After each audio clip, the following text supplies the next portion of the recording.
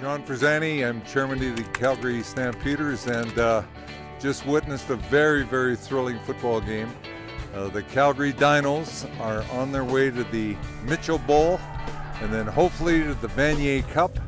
And I think it's just fabulous. The quality of the football at the college level now has really come a long way, and there's a lot of players on this field tonight that would be, will be in the CFL in a very, very short period of time. Very, very happy to be here, very excited, and looking forward to the big game next week.